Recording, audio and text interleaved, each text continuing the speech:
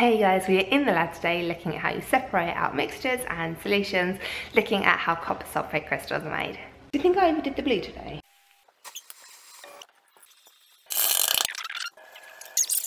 Here I have a beaker which has sulfuric acid in it and I'm just heating it up. All of this smoke you can see coming around the outside, that isn't sulfuric acid, that is just um, stuff burning on the gauze. And what I'm going to do is mix in some copper oxide, spatula by spatula, mixing it as I go. And what I want you to watch is the colour. When the sulfuric acid gets to the point where it's almost boiling, so hot but not actually boiling, you can turn off the Bunsen burner and start adding in your copper sulfate. You need to be really careful when you're heating your sulfuric acid because it's acid and you're heating it. So the last thing we want is hot acid being spilt anywhere or spitting out of the beaker and getting into people's eyes. So please be really, really careful when you do this and follow all safety precautions that your teacher has told you about. So you can see these tiny little bubbles coming up and this is the point to stop it. Now we have our hot sulfuric acid. I'm going to add in the copper oxide spatula by spatula, stirring it. Now, when you're stirring it here, you need to be really careful that you don't tip the um, beaker off because then you'll be spilling hot acid everywhere. Alternatively, ask your teacher if you can do this. You might be able to pick it up with some rubber fingers um, and then put it on the side. So I'm just going to add in the copper oxide spatula by spatula full stir it, and what I wanted to do is just watch what happens. Now, there was a gas given off there, reaction, you can see it was fizzy. Do not breathe this in, it is not nice stuff. Stand back when you're doing this and have the windows open. So just give that a bit of a stir to make sure it's all mixed up. Remember, this is hot, it is giving off not very nice gas at all. So be really careful when you're doing that. You want to add in a fair few spatulas of copper oxide because we do want a lot of reaction to be happening here. Give that a bit of stir to get the lumps of copper oxide off the top. So you might be able to see a hint of um, what is going on. One more. Nice one there. Stir it around. Make sure all of the little, there are kind of like little islands of copper sitting on the top. Make sure they are all um, mixed up with the sulfuric acid. And what we've made here is a mixture of all kind of like gunky stuff. A reaction's taking place as well, and I'll show that to you um, what we get out in just a bit. Then we need to filter the mixture, so I've got my funnel, I've got my filter paper and my conical flask, and we need to fold the filter paper so that everything will go through. Now there are two different ways you can fold filter paper. You can fold it in half and in half again, and then just take one of the separations and then just give that a bit of a, a squidge, technical term, pop that in there and then you've got your filter. The other way you can do it is getting your piece of filter paper, folding it in half,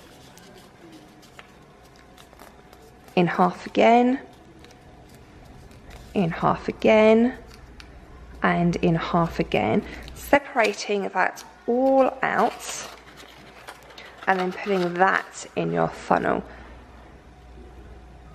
The advantage of doing it this way is that um, there's not going to be a massive chunk of paper for stuff to filter through, so this is actually going to happen faster. So now I'm going to pour my mixture here through the filter funnel to separate out the solid from the liquid.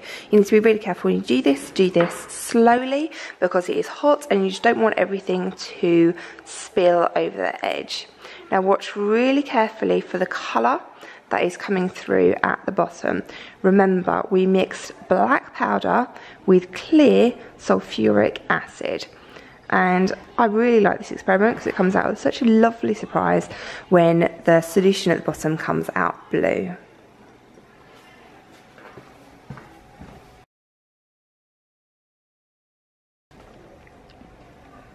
This experiment does take quite a while to filter through, but a large part of chemistry is all about patience. And I find it really quite relaxing just sitting here watching the drops go through. Do not be tempted to poke it with a spatula to try and make it go through faster. All that would do is poke a hole in your filter paper, then you'll get black powder down here where we do not want black powder and you'll just have to start again. So patience is the name of the game here.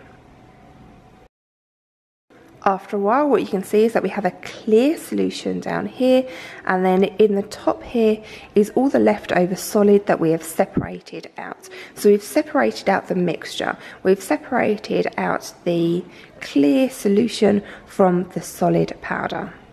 What we have here is an evaporating basin and I'm just going to pour the solution that we've just separated out into the evaporating basin, heat it gently from below and we will see crystals forming. These are really quite beautiful.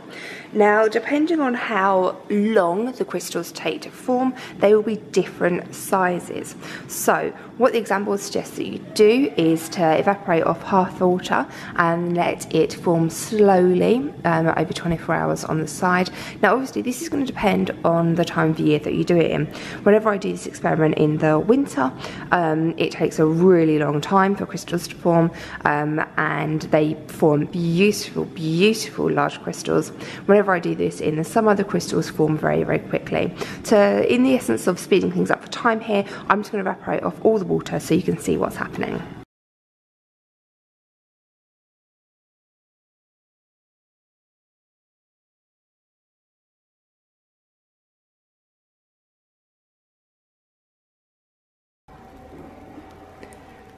So what you can see here are tiny, beautiful blue crystals of copper sulfate.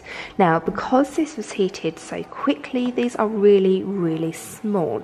And if you look closely, you can see these blue crystals and then just above them you can see some white crystals. This is the difference between anhydrous and hydrated copper sulfate.